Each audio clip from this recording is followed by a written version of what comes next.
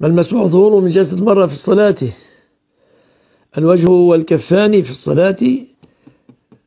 الوجه في الصلاة جائز عند الجماهير من العلماء.